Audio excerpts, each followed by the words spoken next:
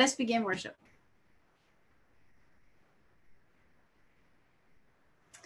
Good morning and welcome to worship at Bread of Life, Deaf Lutheran Church. Today, the people here leading worship uh, will introduce themselves. So, my name is Michelle Lewis, and I'm the pastor here at Bread of Life.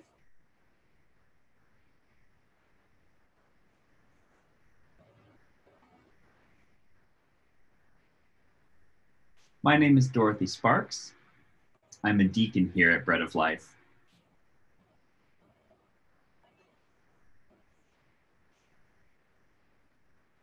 And I'm David Evans. I'm one of the interpreters here at Bread of Life. As I've done in other weeks, I want to remind us that it is God who gathers us here together. We are all um, in our separate homes and separate places, and still God works to bring us together into worship.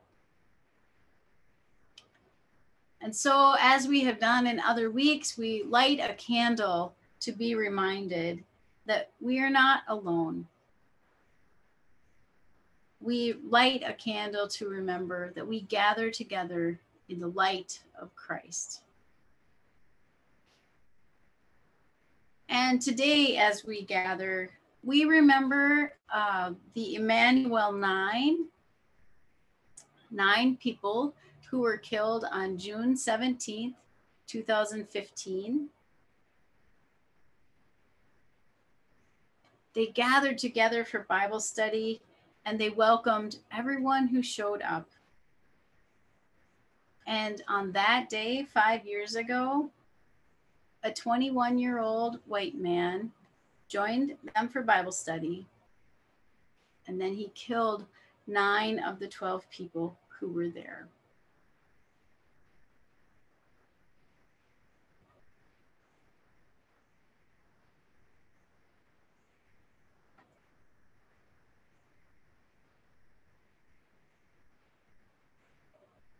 That shooter grew up in the ELCA.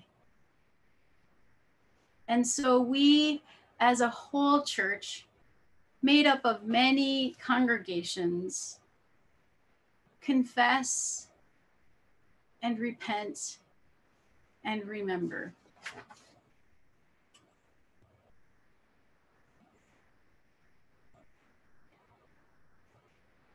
We confess that racism and white supremacy influence and shape our church.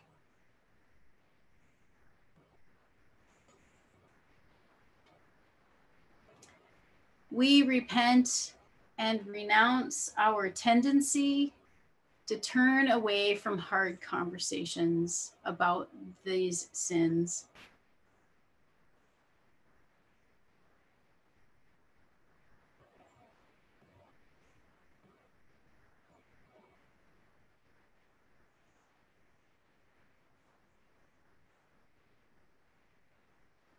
And we remember the Emanuel Nine.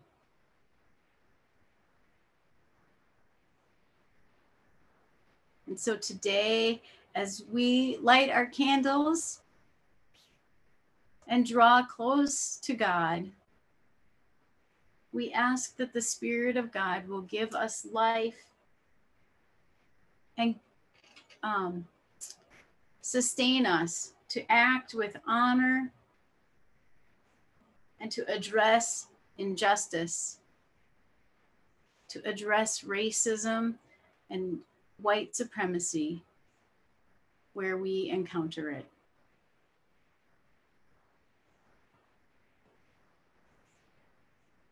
So at this time, I invite you to light the candles in your home. And I'll light two extra candles for the Emanuel Nine.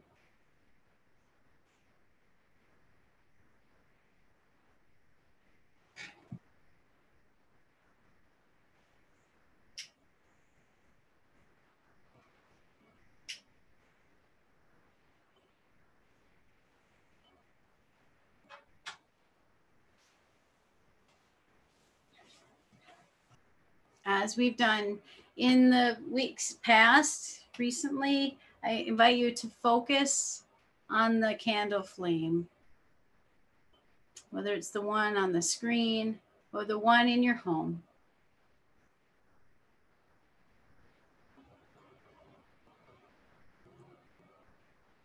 Take some deep, calming breaths. Remember the nine people who died on June 17th, 2015.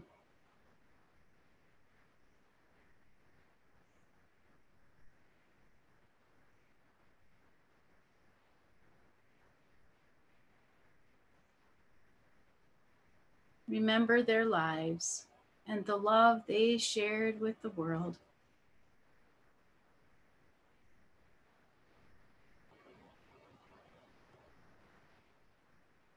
And draw close to God as we begin worship.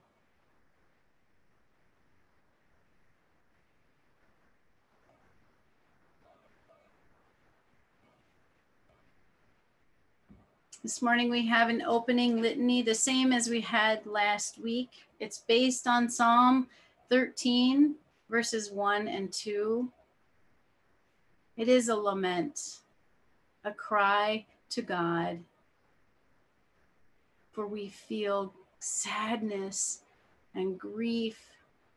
We can't understand how the world is so confused and upset and out of whack. So we bring our confusion and our grief to God.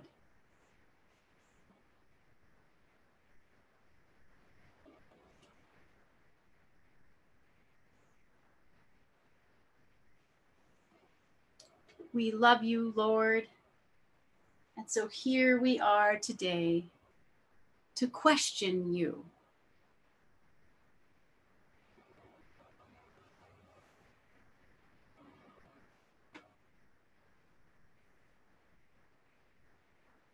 Where have you gone?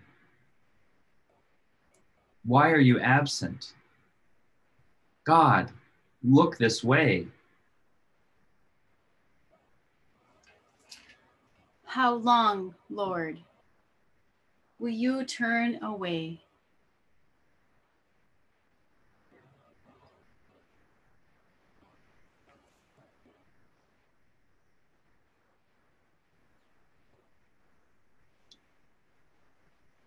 How long will you forget we exist? Some days it feels like forever. We can hardly breathe, Lord. For missing you in this world of suffering and grief.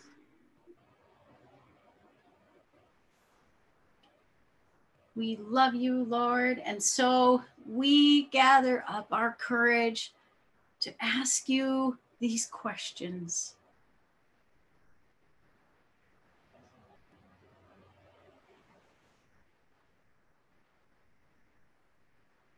How long will you let discouragement and doubt win? How long will you let hatred ruin our days? How long will you let fear rule all the earth? Come, Holy Spirit, heal us and teach us, lead us and restore us.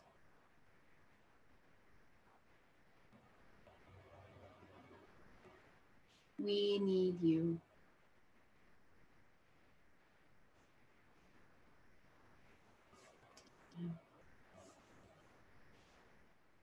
As we confess and repent and renounce our sins, we do so with a video helping us remember our baptism.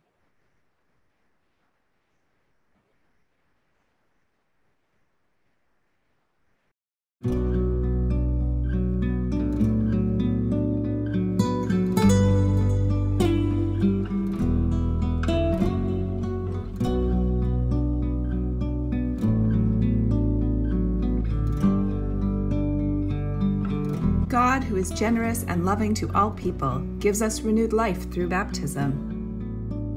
By water and the Word, God claims us in love and knits our lives into the resurrection life of Jesus Christ. United in the one body of Christ, we welcome the gift of the Holy Spirit in all seasons. We rejoice with those of us who rejoice and stand together with those of us in grief. As parts of the whole, we are joined in God's mission of compassion and justice in the world.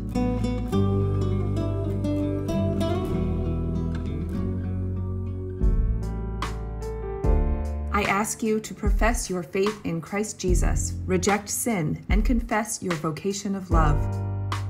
Beloved people of God, do you renounce evil with all its lies and violence? We renounce it. Do you reject the powers of this world that move with greed and favoritism? We reject them. Do you throw off the fear that separates us from one another? We throw it off. Do you renounce the lies of white supremacy and its demonic legacy in our country? We renounce them. Do you disown the system that favors white people and constrains life for people of color? We disown it. And do you reject the idea that God loves some people more than others? We reject it.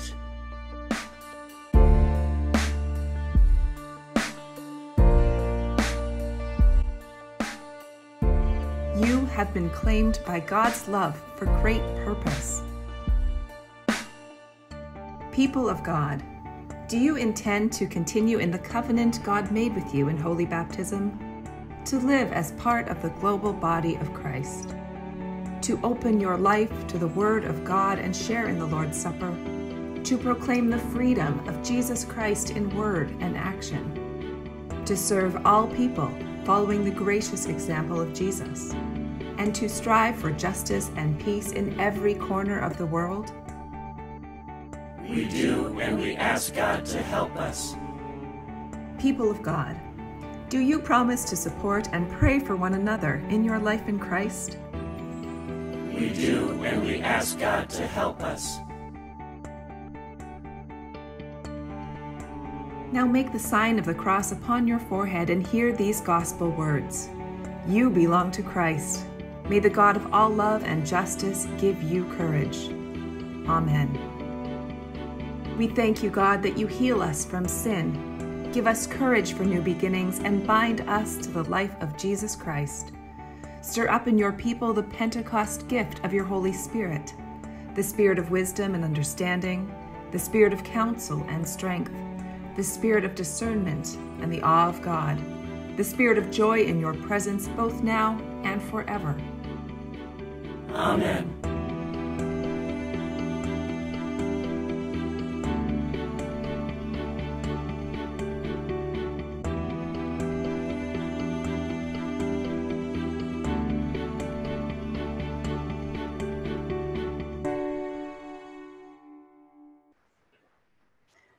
Grace of our Lord Jesus Christ, the love of God, and the communion of the Holy Spirit be with you always.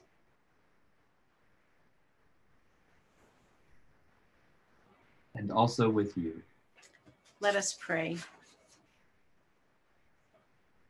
Holy Spirit of God, move, swirl, and dance among us. Remind us that you are always present, encouraging us, drawing us in, and inspiring us to be the loving people you created us to be. Stir us during this time together to walk humbly, embrace your love, and do justice in this world that needs your justice.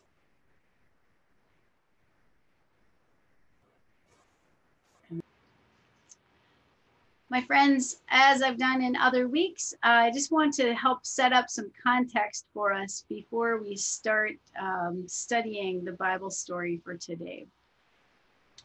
And between last week and today, we skipped over six chapters in the book of Acts.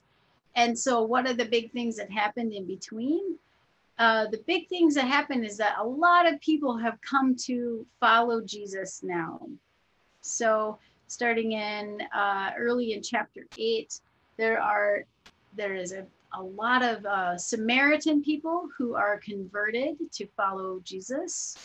And you may recall that the Samaritans and the Jewish people do not get along. They um, feel like they are enemies of one another.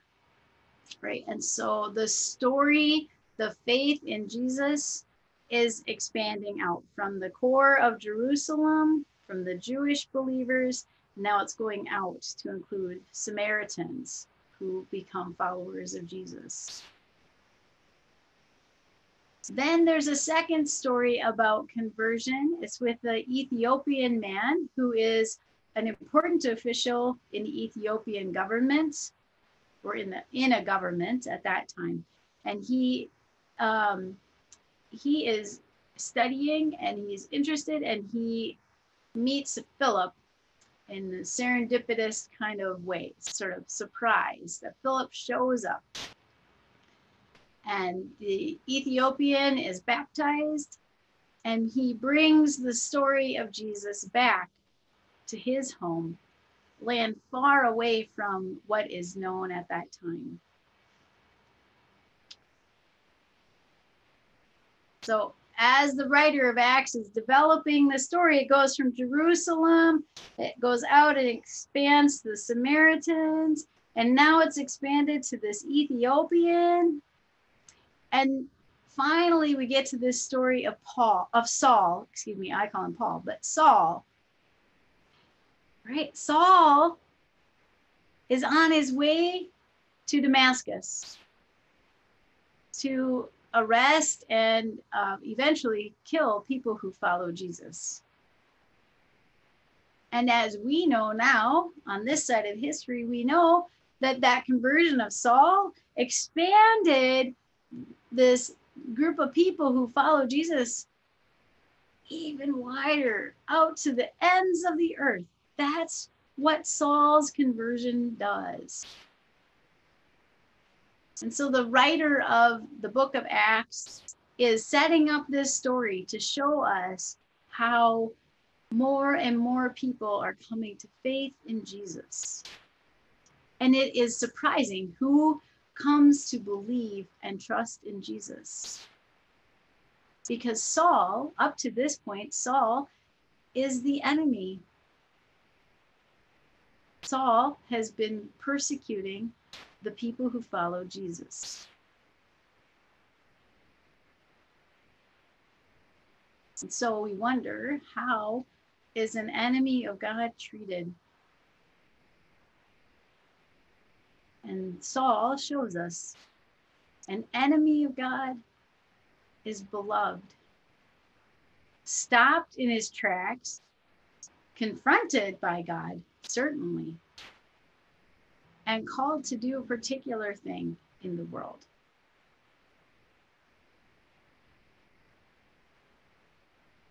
So that is challenge for us, I think, in the church because we don't know who we're sitting next to. We don't know their background. We don't always know what they've experienced before they've come to faith and trust in Jesus.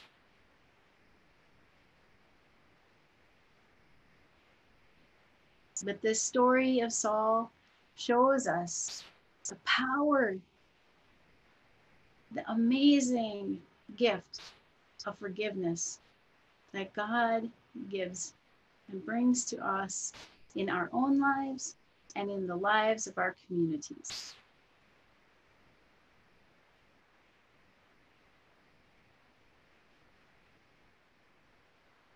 So, with that, I'll ask Dorothy to share with us the Bible lesson today.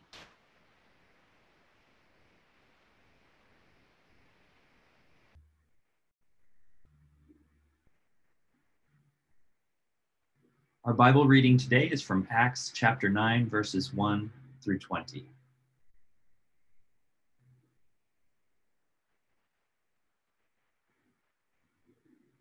Saul kept threatening to kill the Lord's followers.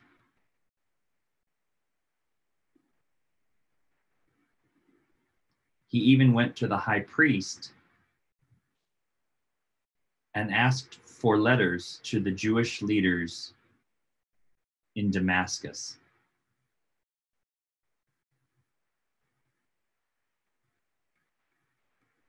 He did this because he wanted to arrest and take to Jerusalem any man or woman who accepted the Lord's way.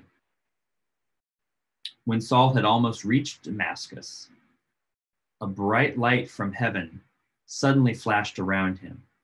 He fell to the ground and heard a voice that said, Saul, Saul, why are you so cruel to me? Saul cried out, Who are you? The Lord answered, I am Jesus.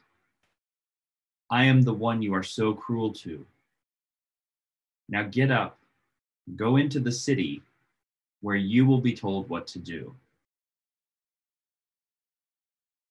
The men who went with Saul stood there speechless. They had heard the voice, but had not seen anyone. Saul got up from the ground, and when he opened his eyes, he could not see a thing.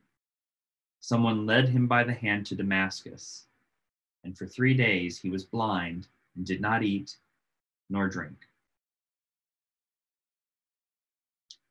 A follower named Ananias lived in Damascus. The Lord spoke to him in a vision and said, Ananias, who answered, Lord, I am here. The Lord said to him, Get up and go to the house of Judas on Straight Street. When you get there, you will find a man named Saul from the city of Tarsus. Saul is praying, and he has seen a vision. He saw a man named Ananias coming to him and putting his hands on him so that he could see again. And Ananias replied, Lord, a lot of people have told me about the terrible things this man has done to your followers in Jerusalem.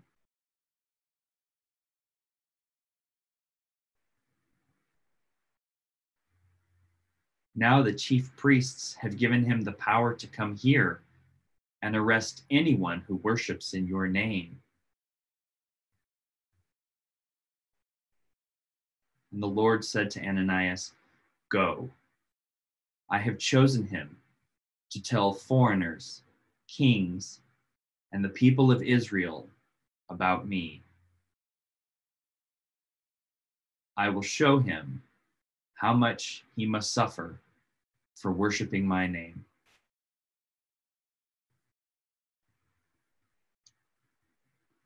Ananias left and went into the house where Saul was staying. Ananias placed his hands on Saul and said, Saul, the Lord Jesus has sent me. He is the same one who appeared to you along the road. He wants you to be able to see and to be filled with the Holy Spirit. And suddenly, something like fish scales fell from Saul's eyes, and he could see. He got up and was baptized.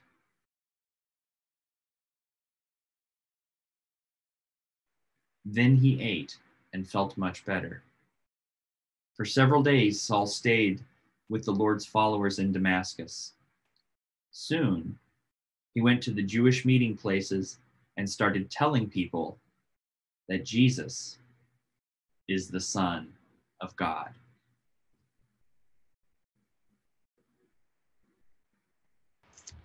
my friends, grace and peace and forgiveness be with you this day and always.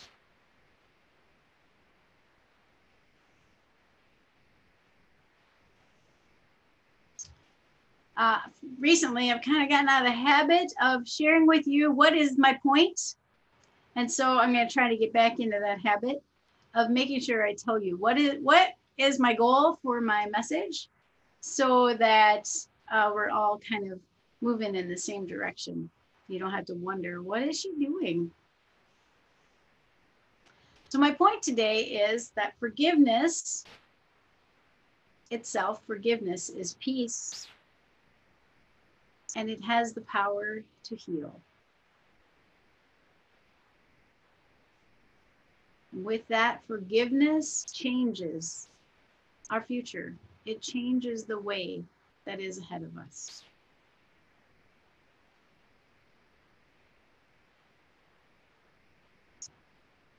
So that's where I'm going today.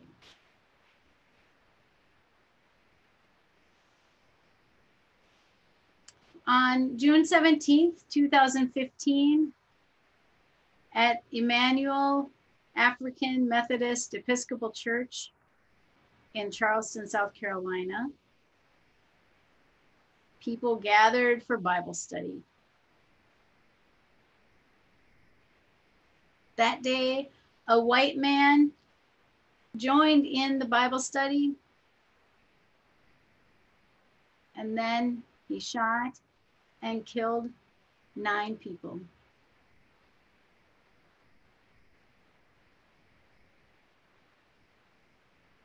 We call that group of nine the Emanuel Nine.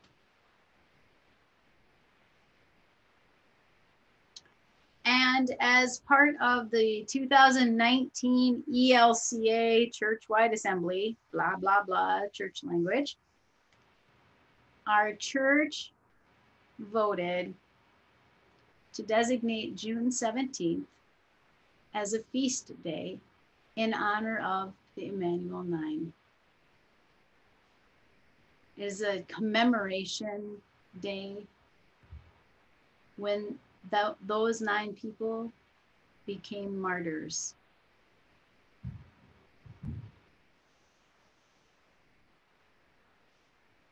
The shooter who took their lives is a young man who grew up in the ELCA. And in shooting those people, he declared that he was more important than they were because of skin color.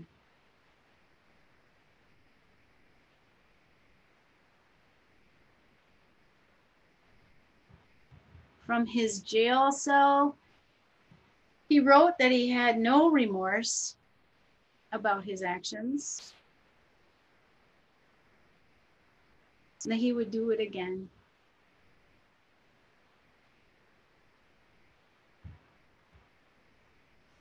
And still, the response to this man from the families of the victims of his violence has been forgiveness.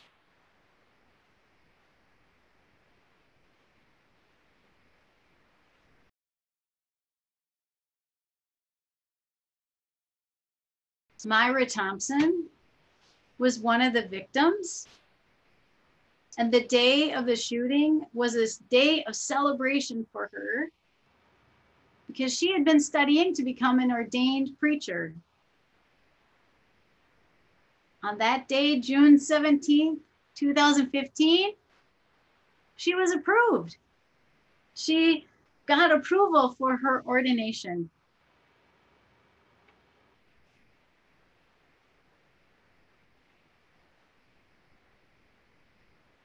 Last year, on the fourth anniversary of the shooting, her husband led a Bible study at Emanuel Church. And it was a Bible study about forgiveness. Because forgiveness has become a part of her husband every day.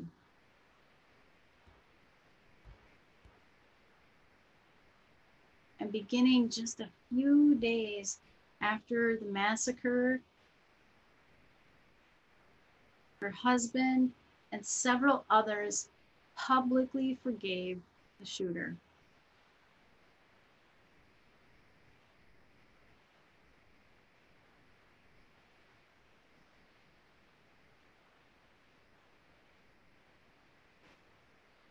that message of forgiveness shocked our country. Uh, no one expected them to say, I forgive you, including the people who said it. They were shocked too. But those words set the tone for what happened after that shooting. Their forgiveness united the community.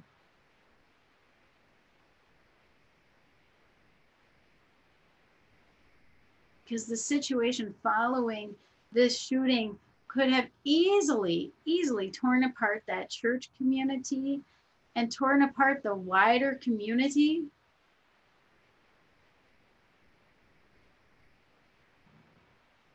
The words and the actions of forgiveness set the tone. Myra Thompson's husband is the one who said, Forgiveness is peace,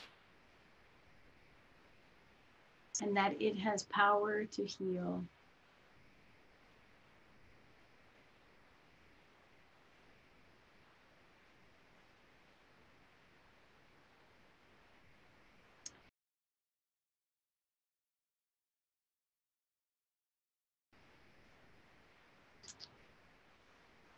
Just as the way forward for Myra Thompson's family has been through forgiveness, another family has found their way forward also through forgiveness. One of the women who died is named Sharonda, and her son was 18 when she died. Her son, Chris, in a moment, in an instant, had to become an adult. He was responsible for his younger siblings and himself, fully responsible for himself in an instant. And so for him, practicing forgiveness every day has been a key to what keeps him going. People have asked him about this because it feels so confusing to us. How does forgiveness work? And he said, I believe a lot of people view forgiveness as letting the other person off the hook. Somehow we think that if we forget, we're letting them off the hook by forgiving.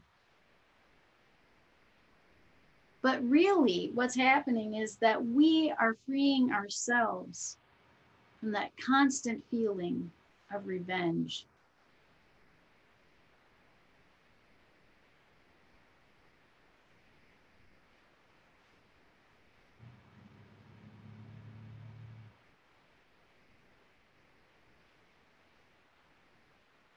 This kind of forgiveness feels otherworldly to me And I can only account for it by the power of the Holy Spirit. The Holy Spirit working in and through individuals and through the church, Emanuel Church, and the Holy Spirit working in our world.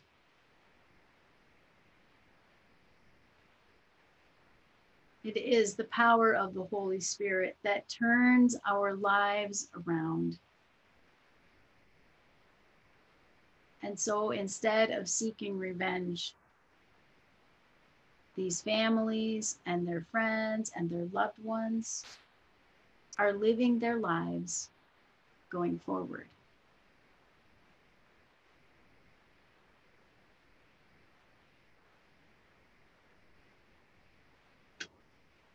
And in today's Bible lesson, similarly, the power of forgiveness is amazing. Because for quite some time, Saul has been murdering those who follow Jesus.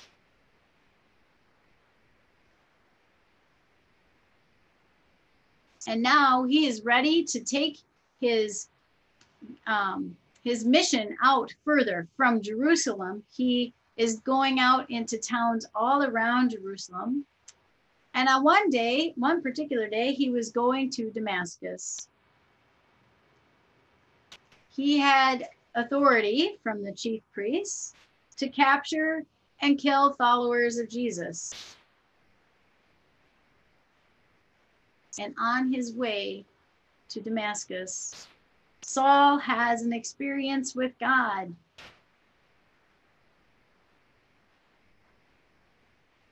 Sort of like how Moses experiences God on Mount Sinai, or when Jeremiah experiences God, again, on Mount Sinai,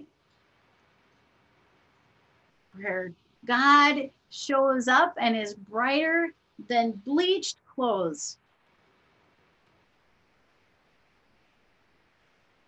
Saul is knocked down and blinded by the brightness of God's light.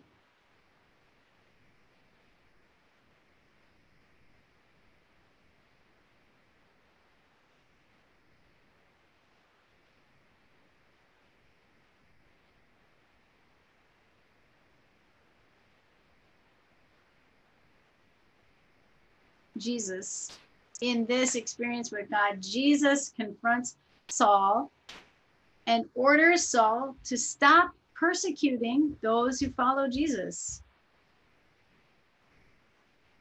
Saul is stopped in his tracks. He cannot go on as he had planned because now he recognizes that Jesus is of God that Jesus is from God, that Jesus is with God.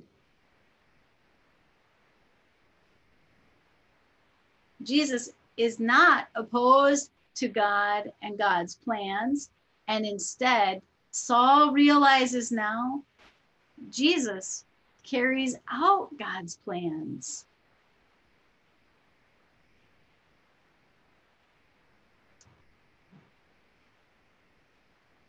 So Saul's encounter with Jesus changes him. It hits him and shakes him to his core. It changes how he understands God and God's activity in the world.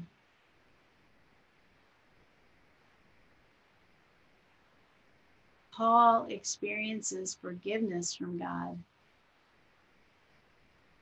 And then I think I said Paul, Saul experiences forgiveness from God. And then God sends Saul.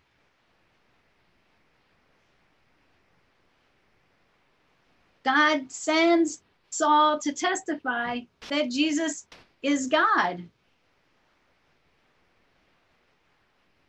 God sends Saul to teach and lead foreigners and kings and Israel. So, everyone, really, everyone, to understand God's ways. God sends Saul to tell his story, to confess his sins, so that others can experience God's love and forgiveness in their own lives.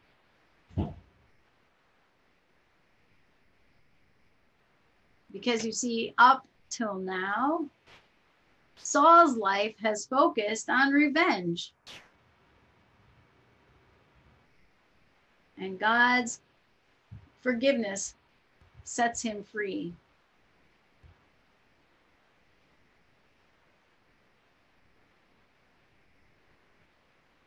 Saul is set free from pursuing revenge.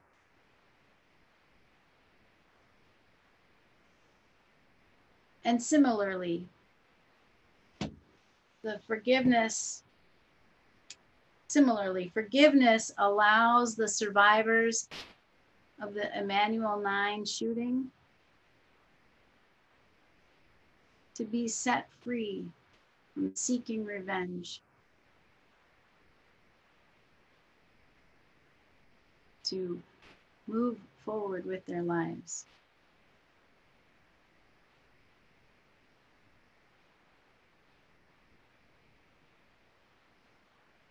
Now, forgiveness is a process and it is a one moment at a time process. It doesn't happen all at once. It has to happen again and again and again.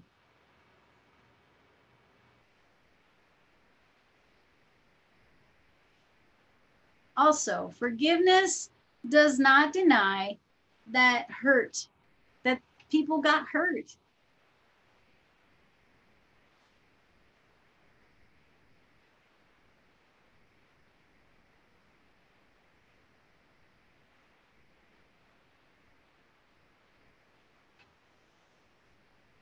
Forgiveness does not ignore the pain that's happened. Forgiveness does not sweep those realities under the rug.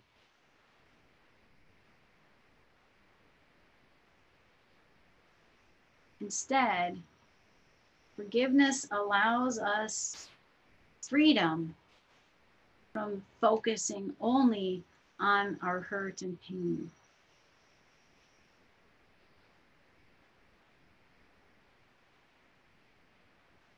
The process the daily practice, the forgiving again and again and again, allows us to refocus on what is ahead of us.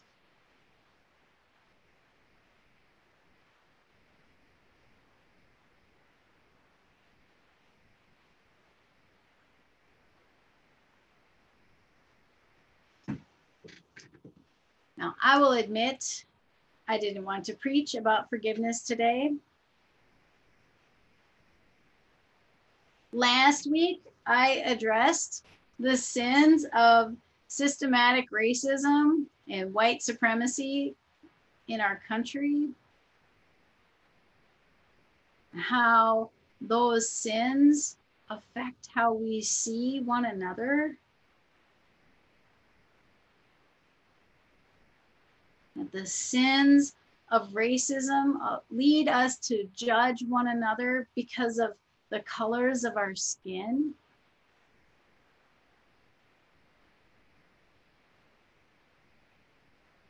And the fact that those of us who have light colored skin benefit because racism favors us.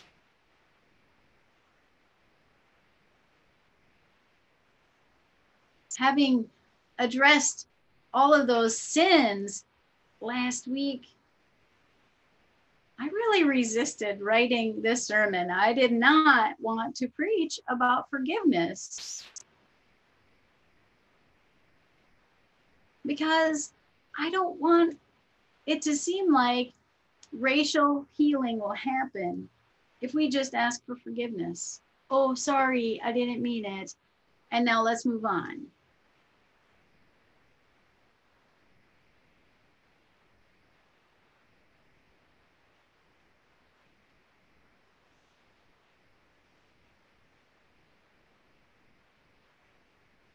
I didn't really want to preach about forgiveness because it feels too quick and too easy. Because honestly, we must fight for deep change in our court system, in the way we uh, carry out policing and public safety, in our schools and in our churches. And I'm here in the church as a leader in the church.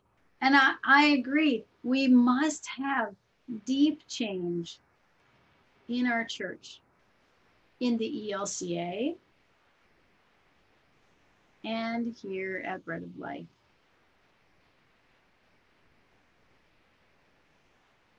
Because we, we need to learn the stories of our Black and Brown and Indigenous neighbors.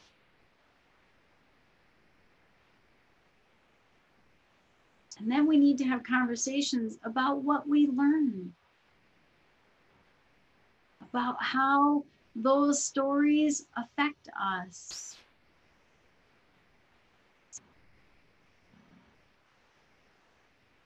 And we need to become more aware of how we cause pain to our fellow humans who are Black and Brown and Indigenous.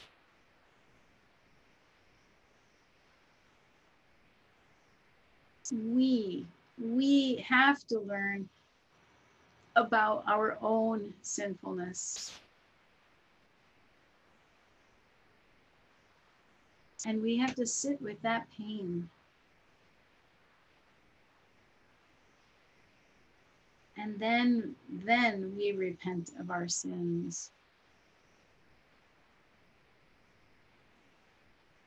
And that takes time. And a week really isn't long enough. So that's why, as I was getting ready for preaching today, I was like, no, I don't want to preach about forgiveness. Because we have so much to learn, not just us at Bread of Life,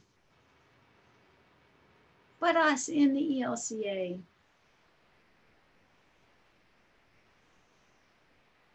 I didn't I didn't want to preach this sermon and yet here we are.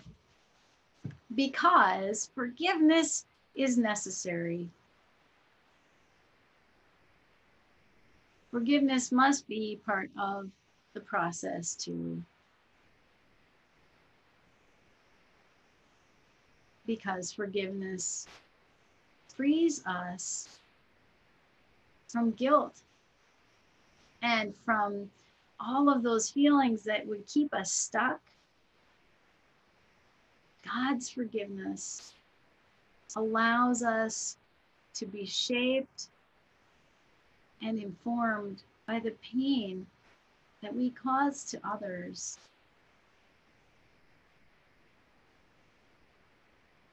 It gives us the capacity to be more empathetic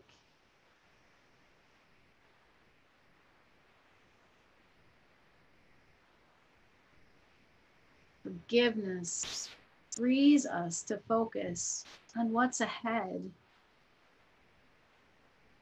Not forgetting what has happened, but allowing those stories and our history to inform what we do and to reform what we will do.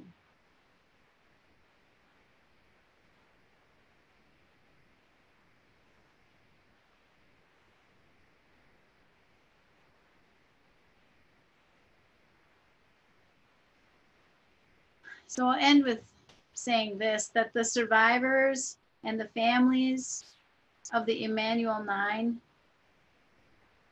they are leading us.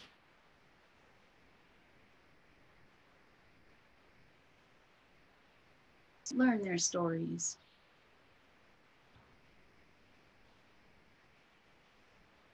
Learn about the nine people who were murdered after they invited the young man, a white young man, into their Bible study,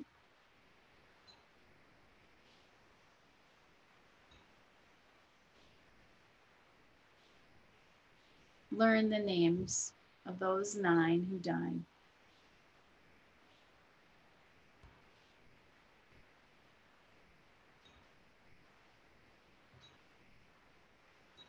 Remember, that their lives poured out God's love.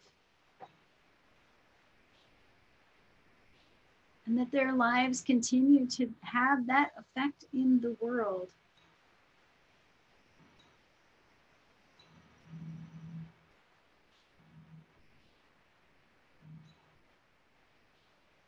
And so today, with the ELCA, we here at Bread of Life commemorate and honor the Emanuel Nine. We give thanks to God for their lives,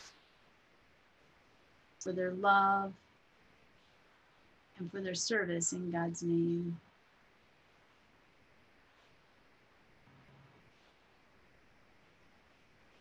May their memory live forever.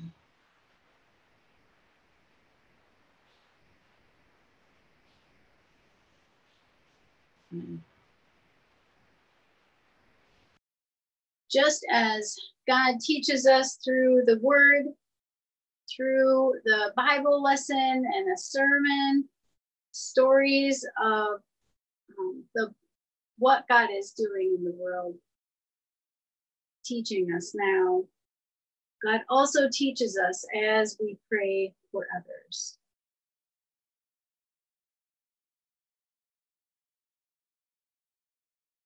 And as I've talked about a couple of times today, today we are remembering the Emanuel Nine.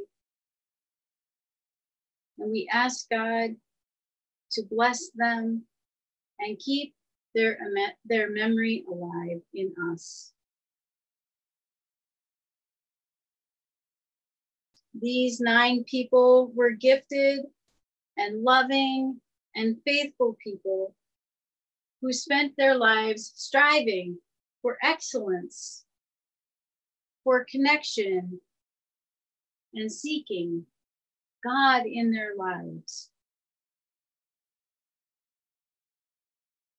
They spent their last moments in study of the word, and they leave for us a legacy of grace, resistance,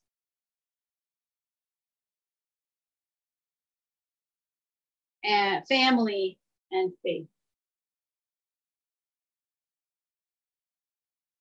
And so today we remember the lives of faithful dedication of God's servants. Clementa,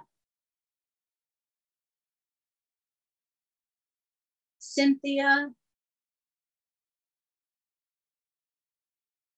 Daniel, DePayne, Ethel, Myra, Sharonda, Susie, and Tywanza. They lived by your promises, shared their talents with those in their families and communities, Help us to remember them. Help us share their names and their witness so that the world comes to know about your spirit at work in them and through them.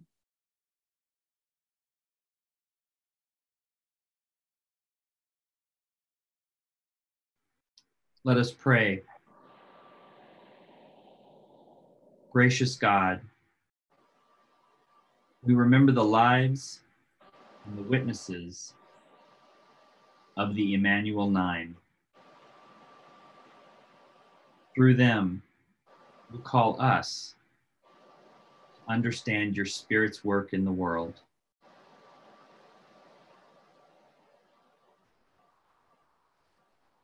Everybody says together, they were preachers Open us to receive the good news of Jesus Christ.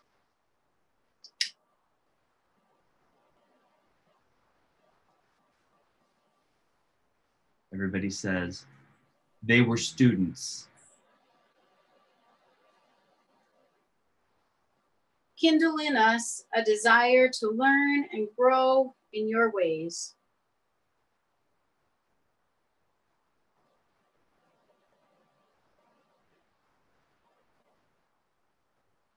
Everybody says they were teachers. Instill in us a passion to share the wisdom of Christ.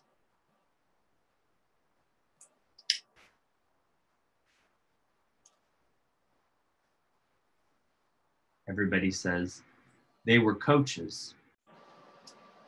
Accompany us as we strive to run the race set before us.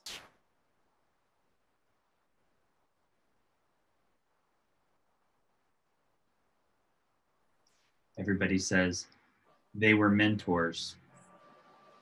Inspire us through the wise counsel offered by others.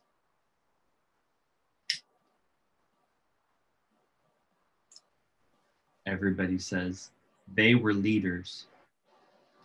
Embolden us to seek out the best in others.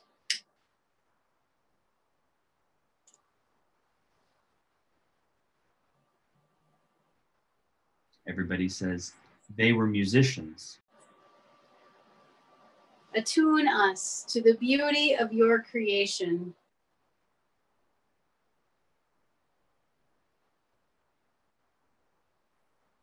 Everybody says they were poets. Reveal your truth in language we have yet to discover.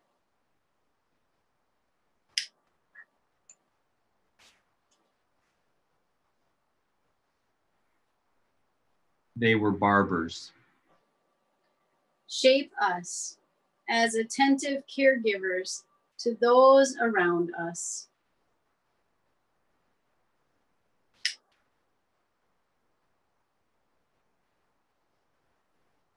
They were custodians. Protect those who work whose work ensures our safety.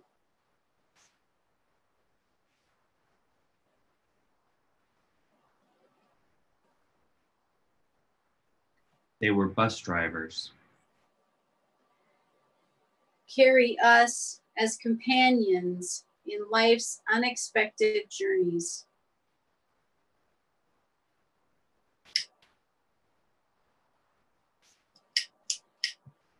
They were librarians.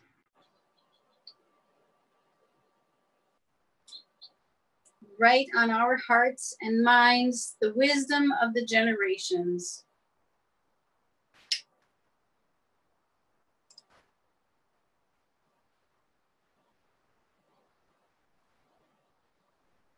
They were veter- veterans. And they were advocates. Call us to speak and act on behalf of those who are silenced.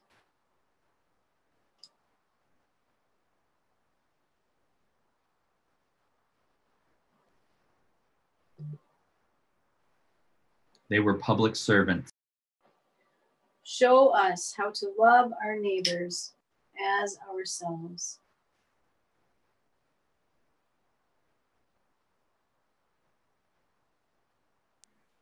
They were legislators. Inscribe your laws of love and justice on our hearts.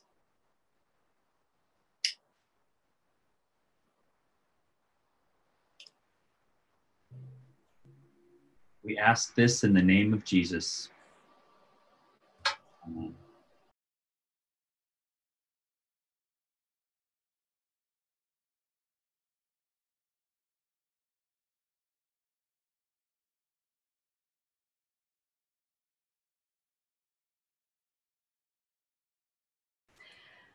The peace of the Lord be with you always.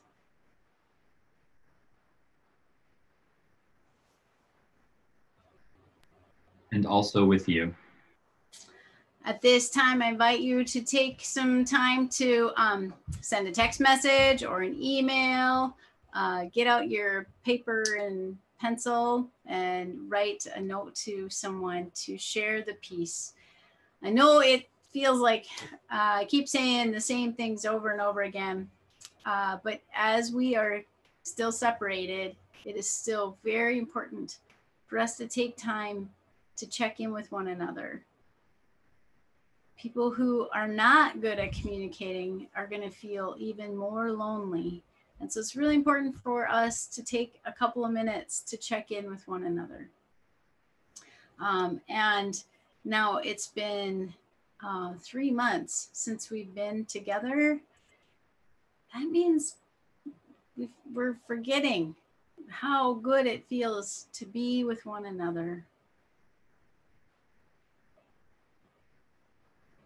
So it's really important to take a couple of minutes, check in.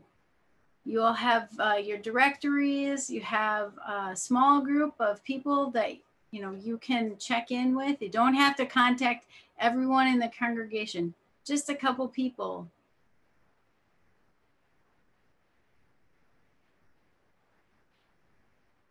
And maybe this week, contact somebody that you haven't contacted in the last month. Just take an extra minute to look them up and send them a note. Whatever way will work for them.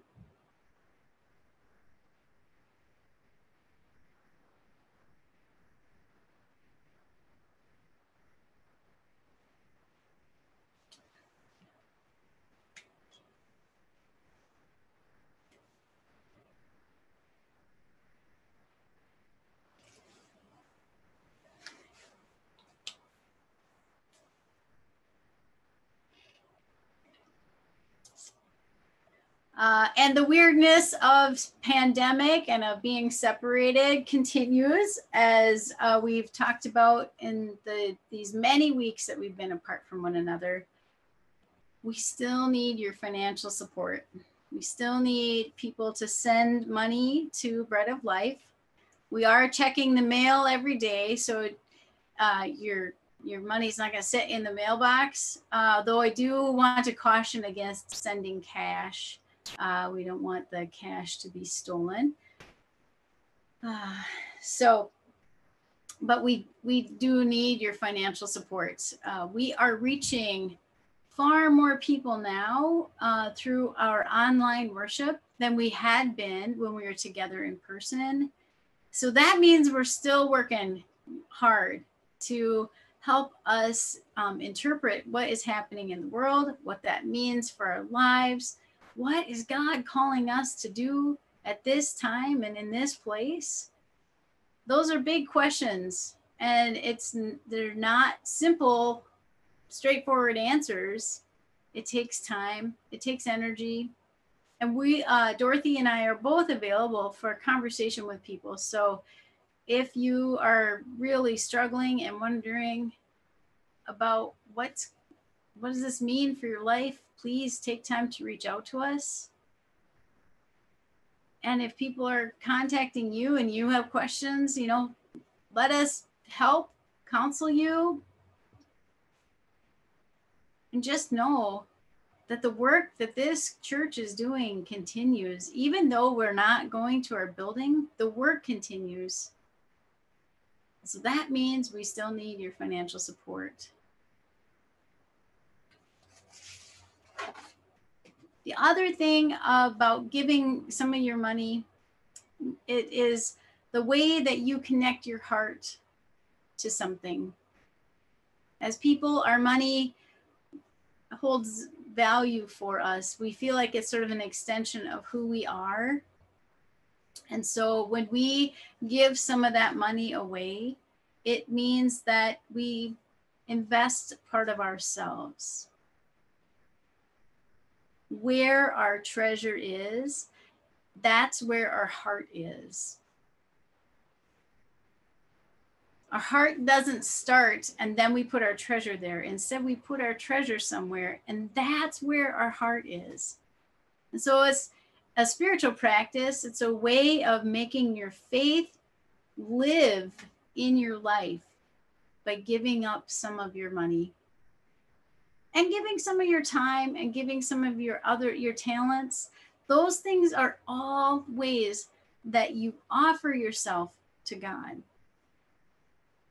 And so it's a weird time for sure. It feels kind of strange that we're continuing to send our money to the church building when we're not going there when we're not seeing each other face to face.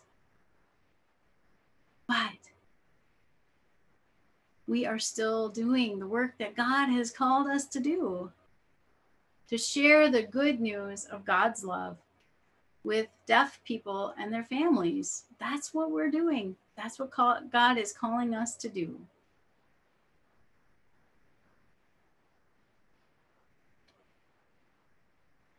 So at this time, we ask you to prepare your offerings and to send them to Bread of Life.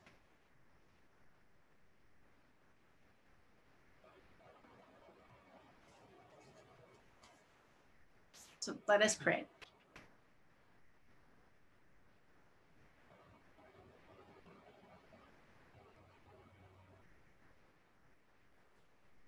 Receive what we offer and transform it by the power of your Holy Spirit into enough money, plenty of praise, honest words to proclaim and enact your peace, justice, and love in the world. Amen.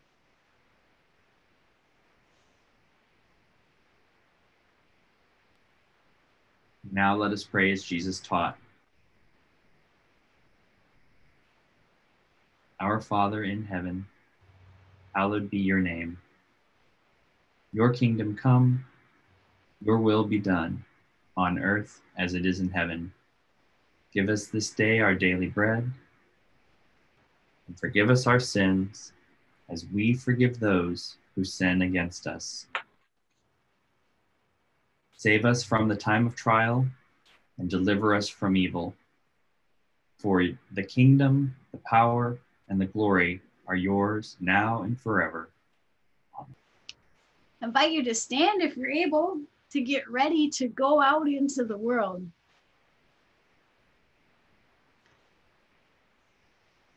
To receive this blessing. God's Holy Spirit is our advocate, sent from God in Christ's name. And so now the Holy Spirit teaches you and reminds you of Christ's words. Do not let your hearts be troubled. Do not be afraid. Christ's peace and the Holy Spirit's presence is with you always.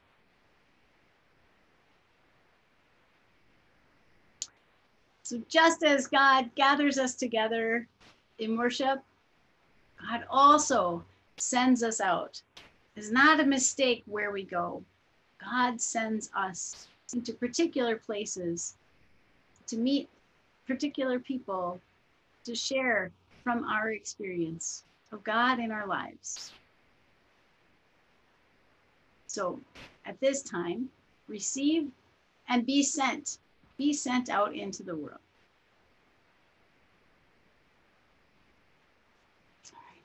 Jesus commands us, come out.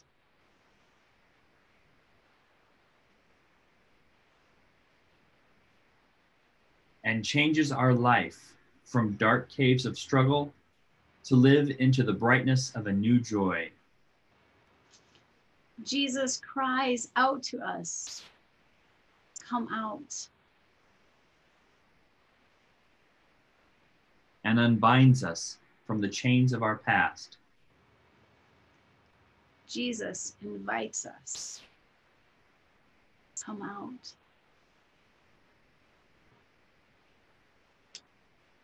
Invites us into a world where the Holy Spirit blows and breathes life of God. So now go out.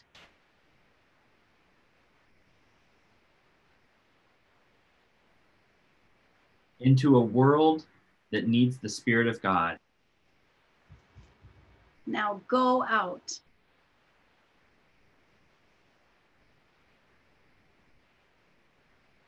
We are God's resurrected people. We go out in and with God's holy breath.